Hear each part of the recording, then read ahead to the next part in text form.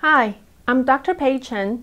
At Kessler Foundation, we have developed a therapy procedure to treat spatial neglect.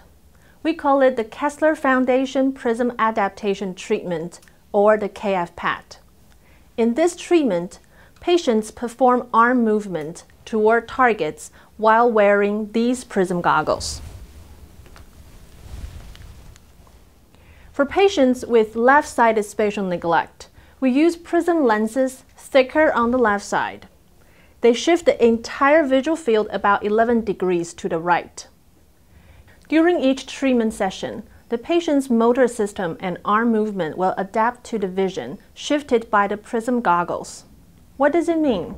Let me show you. Before prism adaptation, she can point to the pen straight from her chest. Go back.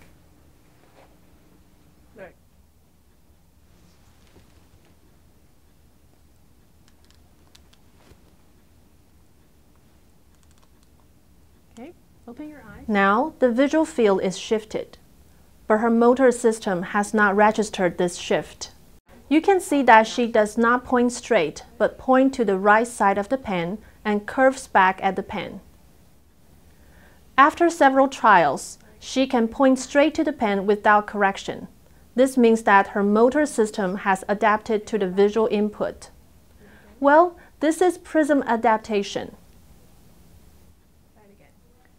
Alright, let's take the goggle off. Once the goggle is removed, the visual system receives the normal vision again. However, the motor system has not registered this change. Now you see she does not point straight, but point to the left side of the pen and corrects herself back at the pen. This is called after effect.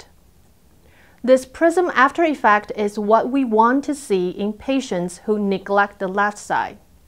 Before the treatment, patients do not move left. After the treatment, they do.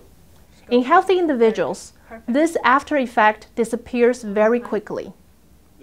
Now you see she can point straight to the pen. Her visual and motor systems are quickly aligned.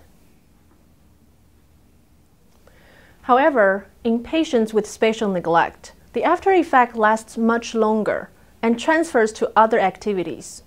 Most importantly, after a course of 10 sessions or more, symptoms of spatial neglect are reduced. I'm going to show you our therapy protocol. First, in order to measure the after effect precisely, we ask patients to perform pointing tasks before and after the treatment. Close your eyes, please. We examine patients' subjective body midline by asking them to point straight ahead.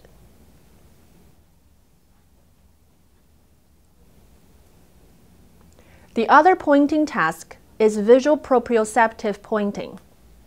The patient cannot see his arm or finger in this task, but he is required to point to the target, which is a pen on the other side of the box. Very good. Go back to chest. Okay, try it again. Very good. After measuring the pointing performance, we start the prism adaptation procedure. This visual field occluder blocks patients' view of their own arm movement, which enhances the adaptation effect. I'm going to put a goggle on. Mm -hmm. In our protocol, patients will mark the center of a line and cross out a circle. They will do so for 60 times at a center location, left or right location. Most patients can finish it in 10 to 15 minutes. However, if the patient has severe spatial neglect or does not perform the task efficiently, we stop the session once the patient has worn the prism goggle for 20 minutes.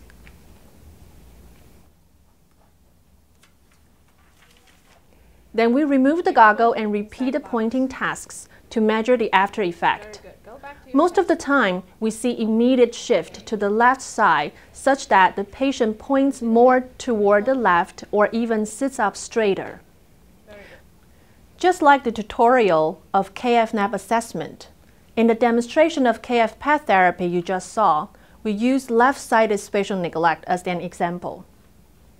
However, you can use the same principles to treat patients with right-sided spatial neglect. You just have to make sure you use the correct prism goggle. In our KF-PAT device kit, we provide both types of prism goggles and detailed instructions. If you'd like to know more about the KF-PAT therapy, please contact us. Thank you for watching.